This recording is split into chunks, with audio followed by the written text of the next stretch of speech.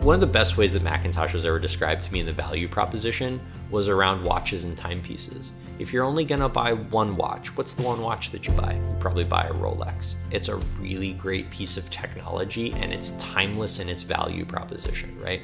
Always wear it on your wrist, it'll always look good. You're not buying seven different stereos, you're buying one. And when you buy one, really nice one, you buy a McIntosh. This company's been around forever. They were the company that powered Woodstock, toured with the Grateful Dead. These are the kinds of products that have a, a history in American culture and pop culture. I think their average tenure for employment is something like 16 years. So they have people who've been working at this factory for a very long time who are just really, really good at what they do. This is the kind of product that you're going to have in your home for decades.